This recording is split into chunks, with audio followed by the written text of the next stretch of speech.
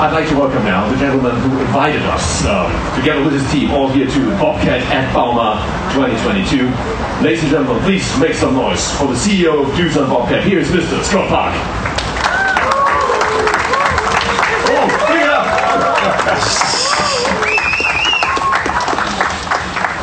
Hello, hello. Or I, I guess I should say hello, hello. Yeah? My German is good. Your German is perfect. It's very good. If you're Bavarian, say Servus. Yeah. Like. And I can say yeah, yeah, yeah, and then that's 70% of German, right? Okay. Anyway, sorry about the rain. We, we have no control over the rain, so it's uh, unfortunately we'll do this inside. But um, the benefit of doing this inside is we, we want to give you guys a chance to ask questions. So you can ask questions during, after, anytime. Okay, and then the, the other thing I wanted to mention is, and maybe you already did, is it's hard to take a picture out there right now. So um, we set aside what time? 9.30. 9.30 in the morning on Wednesday. If you would like to come, Mike and I will be here, ready hopefully with a beautiful sun to take a picture with our very new product. Perfect. So today I'm here with uh, our Vice President of Product Management and uh, Ba- of Bobcat EMEA, Mike Vought. So he's going to be uh, joining with the discussion. Bring it up for Mike, come on. He, has his part later, but uh, he was not supposed to come up till we were on the hill. But with the rain, he's available for questions right away. Good. Yeah, so we're really excited about this. You know, um, Bobcat. You know, Bobcat's been around for almost 65 years, and we invented the compact equipment industry, and we continuously try to invent, reinvent, and re-reinvent. So it's all about innovation, and that's what we want to talk a little bit about today. So innovation, as he said, it is in our DNA, and we innovate a lot, right? I mean, this is really part of what we do. Whether it's a function in a machine, or new capabilities, or software products, we do a lot of innovation. But we don't do the innovation just for the sake of innovation. Obviously, we do the innovation to help our customers accomplish more. Yeah. But you know, one of the big things these days is ESG. Everybody knows about ESG. And clearly we are focused on ESG. So our job is also to work on innovations to help the environment, to be able to help not only our customers accomplish more, but also be able to do that in an environmentally friendly way. And so, you know, earlier this year, I think a lot of you were surprised. Um, the whole industry was surprised when at uh, CES in Las Vegas, we unveiled the T7X. Right? This is part of our environmentally focused approach, our ESG for the global community. Because if you remember, the e- T7X is an all electric, but does not have any hydraulic fluid in it. So it is something that not only is environmentally friendly, but also in a noise kind of vibration manner. So you will actually see the machine out there, um, but uh, it's a fantastic machine, and it really is part of our whole ESG message. Yeah, you know, I'm not going to talk about all the innovations because you will see that in our booth and you'll be able to uh, hear from our people. But just a couple of things I wanted to mention was about these OLED screens. I don't know if you've seen it yet, but we have two versions of it. One is outside in our telehandler, where basically in on the window itself is a screen. And so we make uh, the boom disappear, and we can put all kinds of different information onto the window, and you can still see through the window. So you should take a, definitely take a look at that. And then if you want to see the more advanced version, there's a sample downstairs, and this one is actually a touch screen. So if you can imagine that on your window you have a semi-transparent view, so you can see what you're doing, and you can put anything on that screen you want. You can put your what you need to do for work. You can put in your fuel levels and all your gauges. You can put in a video if you want to know how you're supposed to be working. You can put anything on that screen, touch screen, and then go. So please take a look at the two OLED examples we have. One outside on the telehandler and one inside in our uh, innovation area. Anyway, I, I need to hand over to Mike, but uh, you know, please take a look at all our innovations. You will see some excavators, you'll see some other products out there.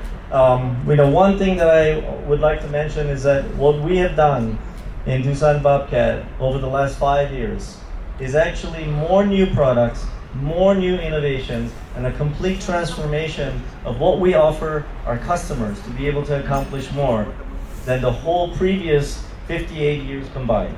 Well, with that, I think, uh, Mike, if you want to talk a little bit about our latest electric mini excavator, that would be great. Yeah, let's talk about some of our great products. And uh, I think you said 65 years uh, we've been innovating, and uh, I've been around, or had the pleasure to be around for 28 of those years. So, and one thing uh, that is uh, for sure is that uh, you know Bobcat is continuously innovating and bringing new solutions to the market for our customers. And today we're going to talk a little bit about uh, another one uh, that we have. Uh, but before I get into that, maybe just a few words to touch on what Scott was saying. You know, we continue to look always to the future and uh, I think one thing you can count on with the Bobcat brand is we're always challenging the norms of the industry, and we want to continue to grow and expand, uh, you know, this compact concept. And when these innovations become commercially um, viable, we bring them to the market. And the T7X that you see out there is available in North America today um, uh, in the market.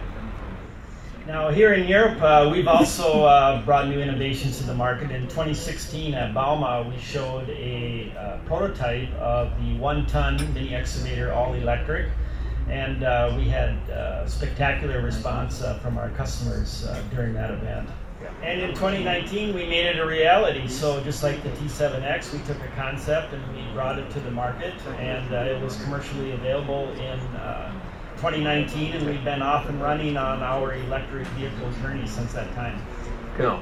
Now, in between uh, 2019 and today, we've been pretty busy. Um, you've probably seen some of our product launches. We've uh, upgraded or introduced over 65 uh, of our products in our portfolio since that time, including six brand new product lines.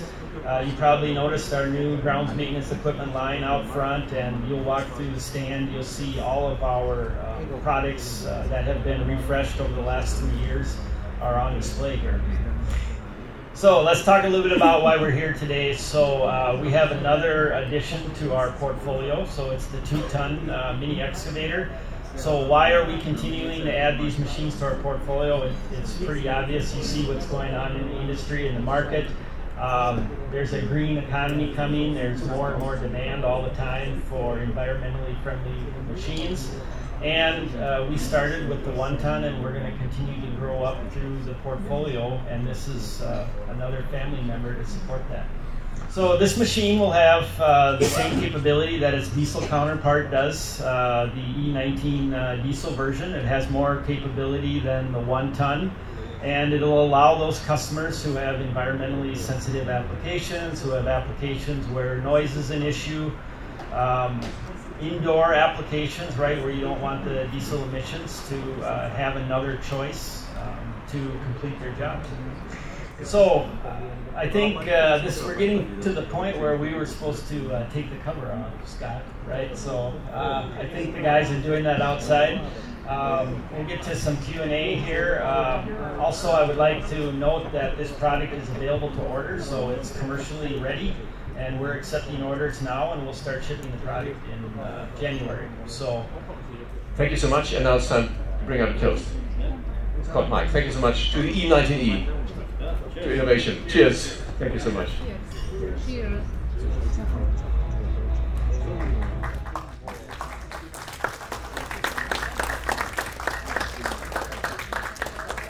Just repeat the question quick. So what is the situation with telehandlers? Any electric innovations coming up coming up there? So telehandlers. So we're introducing another new uh, addition to our uh, telescopic line. Uh, you see the 2560 outside. Uh, that's the uh, super compact range. Um, it's been a, a needed addition to our portfolio for a long time. It's a fantastic product. We're very excited about it. And um, with our Bobcat telescopic range, um, as you know, we build those products in France. They're not uh, branded. And uh, we continue to grow and, and uh, innovate uh, within that space and drive the industry. Um, now, as you know, those are higher. To your question about the electric, right? We are certainly looking at uh, solutions for that. It's more in the innovation stage. There are higher horsepower applications, right? So there's some different solutions that you need to look at, but it's certainly in our roadmap. So conceptually, when we look at our products, we don't look at just the product range, but we look at what we call a product bundle. So what do the customers need to be successful, to accomplish more? And so, as Mike said, we introduced the PF0, which is less than two meters tall and around 180 centimeters wide. So it's the perfect size from what our customers said to be able to get into those smaller applications. So as part of the whole journey, we continue to explore expanding the portfolio for the telehandlers, but also expanding the portfolio for the availability of different um, energy solutions. So we have the diesel solution for sure. We actually do have in our engineering hybrid solution. You saw a few electric machines. And uh, I don't know if you're aware, but we acquired the Doosan forklift company last year.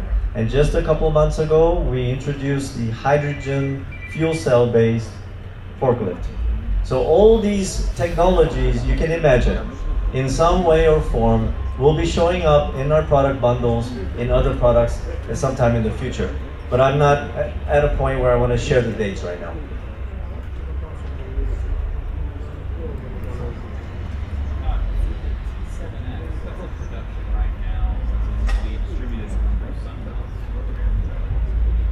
Uh, yeah, the question was uh, the T7X uh, is being manufactured and distributed right now. Is it distributed just by Sunbelt? And the answer is no. Yeah, Sunbelt is a customer. So they, um, we partnered with them. Uh, Sunbelt's ESG message actually included the T7X. I don't know if you look at their quarterly reports. And so before we went into production, before we actually had the final version of our product, they committed to $20 million order of that product. So that's why they ended up being the first and biggest customer. But clearly, as we get more manufacturing capabilities, uh, we will do with that product like we do with any product. We will sell it to our, our different dealers and customers out there all over the world. Is that available uh, for order by customers right now? What is the time? Yeah, it is available for order by customers now, but we have a, a pretty big backlog. We, we didn't expect um, such an explosion of interest. Um, it not only came from Sunbelt, but it also came from like the California state government. So there was um, too much, a lot more interest than what we had expected. So we're trying to build out that manufacturing uh, platform right now. But yes, you, you, you can make an order, but it will take a long time before you get one. But we'll fix that. Yes. On the Sunbelt side, for their, for their, what, what, what was it about the, the electrification solution that you guys have that attracted Sunbelt to it so much? Okay, the, the question was, what was it about the electrification uh, capabilities that we put in the T7X that attracted Sunbelt? Well, I already mentioned the ESG message, but more important than the ESG message is that this machine has to do work, right? And the work that it can do versus the other T776, yeah, is actually equal or better. So this thing actually had more power and more speed and more capability than our existing product. So the bare minimum, obviously, we say it's equivalent. And clearly, Sunbelt wanted something to the performance of the T7 series, and they got it. And so when it became no hydraulic fluid and fully electric, it goes right along their ESG message. And oh, by the way, the performance is a little better now. So um, all in all, it just kind of fit in just from a, a, a regular work capability perspective, but also with the long-term message. The E19 going to be a similar story or a little bit different since it's a different machine? Yeah, so the E19 is um, we're basically replacing the engine with the um, the battery, uh, but all your other subsystems are still hydraulic. So that's the difference in the T7X. Yep, to the them. Do you think E19s uh, will ship in January. Yep. So the answer is yes. Yeah, so the question was, are we planning to get into the larger uh, telehandlers? At the moment, the focus is a little bit more on the smaller range, and you see the our new introduction. Um, it's not to say we haven't looked at it or it's not in our roadmap, but I don't have anything specific for you at the moment. Uh, thank you so much again, ladies and gentlemen, to Scott Park and Mike Vought for being here, for presenting the E19E, and thanks to all of you for joining us here at the Bobcat booth. at Thank you so much. Thank you. Wonderful.